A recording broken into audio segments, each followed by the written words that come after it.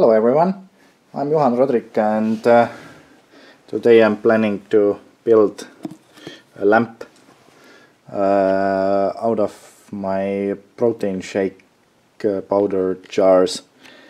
And uh, I have made a few red light uh, producing uh, lamps in the past and with these jars I figured they are also quite uh, suitable for for it. So I have a few more plastic jars that are transparent but uh, but I can also use them spraying them over. But these are ready-made red. And this one I removed the uh, removed the band and uh, it's like works pretty nice. I have a little bit uh, shake powder there and okay I'll quickly go make a super size shake of these drink it up and get started